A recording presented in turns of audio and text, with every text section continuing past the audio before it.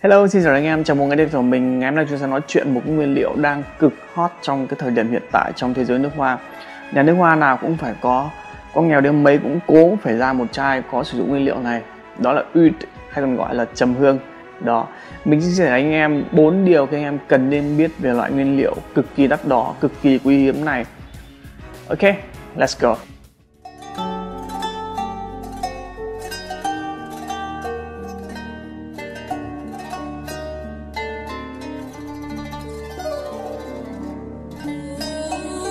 Điều đầu tiên các anh em cần nên biết đó là oud hay mình gọi là trầm hương có một cái giá trị rất rất là đắt đỏ. Giá của nó gần như là vượt trội so với các nguyên, nguyên liệu thô khác trong ngành nước hoa. Theo như một cái bài báo mình đọc uh, khoảng năm 2018 thì giá của nó rơi vào khoảng tầm 9.500 đô một cân ở các tiểu vương quốc Ả Rập thống nhất hoặc nếu như nó một loại quý giá hơn, hiếm hơn thì hoàn toàn có thể vượt mốc hơn 100.000 đô một cân và nó luôn luôn được so sánh là vàng trong ngành nguyên liệu thô nước hoa. Vậy tại sao ừ, nó có một cái giá đắt đỏ lên như thế? Thì trước tiên chúng ta cần phải nên biết cái cây, nó có tên là cây là Aqualaria và được trồng phần lớn ở các vùng Nam Á, ví dụ như là ở Indonesia. Ở Việt Nam mình cũng trồng rất là nhiều, đó. Và khi cái cây này được trồng tự nhiên hoặc là bởi bàn tay con người thì nó sẽ bị một cái nấm loại nấm mốc tấn công. Và trong cái cây này nó sẽ sản sinh ra một cái loại nhựa để có thể làm kháng thể lại cái loại nấm mốc này.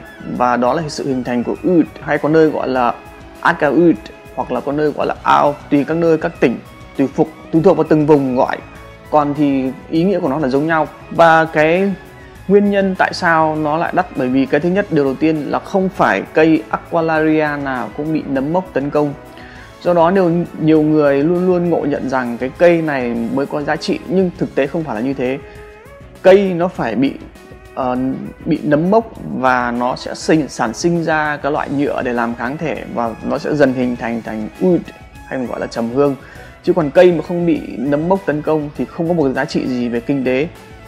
Và cái thứ hai oud có giá trị bởi vì là nếu như cây càng bị nhiễm bệnh khoảng thời gian lâu đôi khi rất rất là lâu có thể tính đến hàng trăm năm 100 năm hơn 100 năm thì mới có giá trị. Do đó nếu như cây mới hình thành được cái út này thì uh, không phải là loại là quá là quý hiếm không phải là loại quá là chất lượng mà cây càng nhiễm bệnh lâu thì mới càng có giá trị. Đó đấy là đối với các loại được trồng thuần tự nhiên. Còn thì thực tế ngày nay khi mà được trồng ở bàn tay con người thì chúng ta thường sử dụng những loại dung dịch nấm mốc nhân tạo chúng ta tiêm vào cây để buộc cây nó phải sản sinh ra cái loại nhựa đấy, cái loại uy để làm kháng thể lại với cái mốc nhân tạo đó.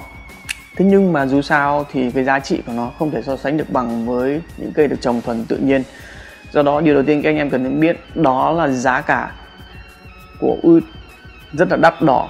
Nó được so sánh ngang với vàng và sự hình thành của nó thì cũng rất là gian nan, đòi hỏi rất là tốn rất nhiều thời gian và không phải cây nào cũng có thể sản sinh ra được đấy là điều đầu tiên các anh em cần nên biết. Điều thứ hai các em cần nên biết đó là mùi hương của oud đôi khi nó là một cái sự trải nghiệm rất là mới rất là sốc ok chúng ta có thể ngửi mùi hương của vetiver gỗ đàn hương gỗ tuyết tùng gỗ hương. Thế nhưng khi mà ngửi mùi hương của oud thì nó vẫn là một cái gì đó trải nghiệm mới rất rất là khác. Với cái với cái cảm nhận của mình mùi hương của oud nó là cái mùi hương smoky khói woody đậm mùi gỗ và rất là dày.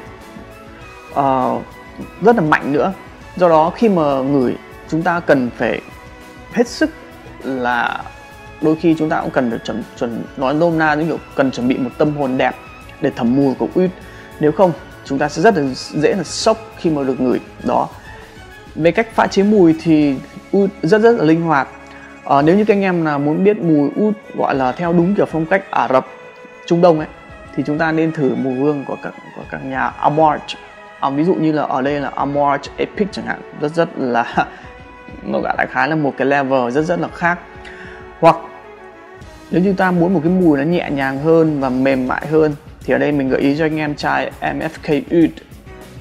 Với cái sự kết hợp của oud và saffron, tạo nên cái mùi hương rất là mềm mại và nhẹ nhàng. Nó khác hẳn với cái phong cách mùi hương của các nhà nước hoa đến từ Ả Rập, mà ở đây thì nó vẫn có cái sự mềm mại, nó có cái sự thu hút.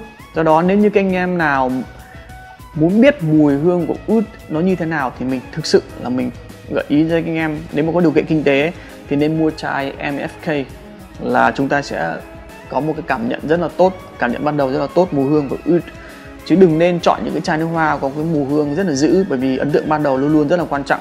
Nếu như chúng ta ngửi ngửi lần đầu mà không thấy ok thì nó sẽ rất là chán. Hoặc nếu như chúng ta muốn biết trầm, combo trầm và hồng đang rất là hot gọi là hot trending trong perfumer hiện nay. Thì mình muốn gợi ý đến cho mọi người chai Garland Santa Royal. Rất rất là quyến rũ.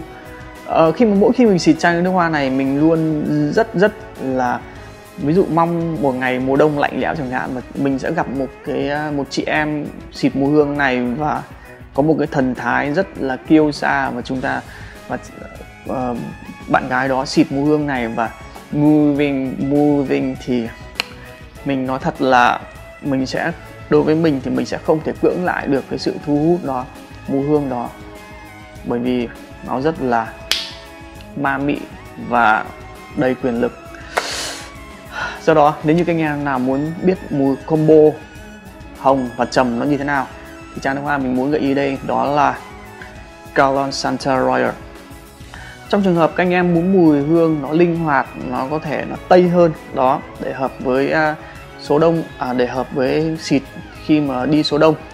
Thì chai nước hoa mình muốn gợi ý ở đây đó là Banana Republic 17 Oud Mosaic chai nước hoa này mùi hương của nó mặc dù có sử dụng nguyên liệu trầm thế nhưng mà nó giống như kiểu nó được gửi đi du học ở Tây mấy năm về.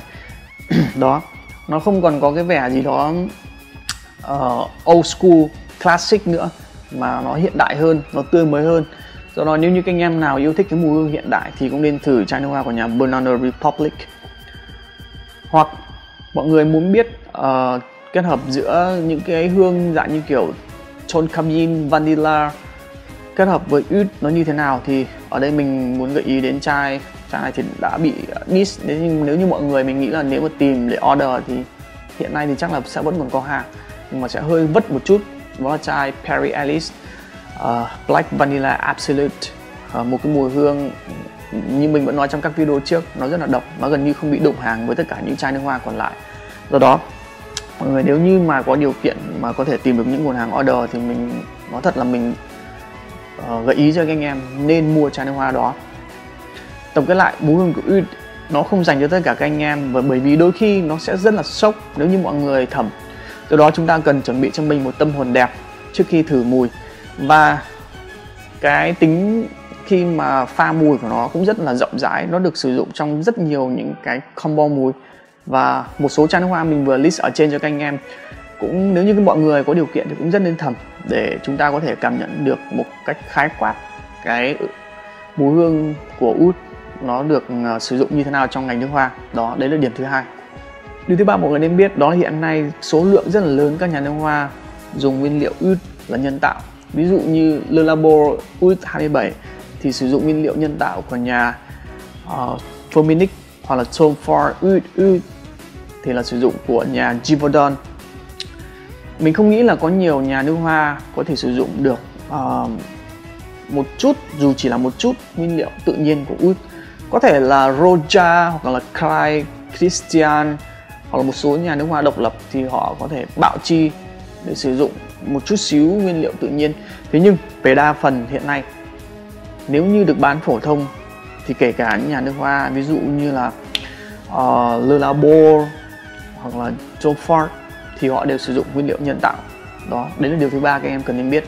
Điều thứ tư mọi người cần nên biết đó là nếu như chúng ta cần một cái mùi hương có thể gọi là 24 giờ đó bám mùi 24 trên 24 thì oud là một trong những nguyên liệu các anh em cần ưu tiên số 1 bởi vì nó luôn luôn được xếp và là một trong những nguyên liệu có cái độ bám mùi dai nhất luôn, cùng với gỗ đàn hương và một số nguyên liệu khác.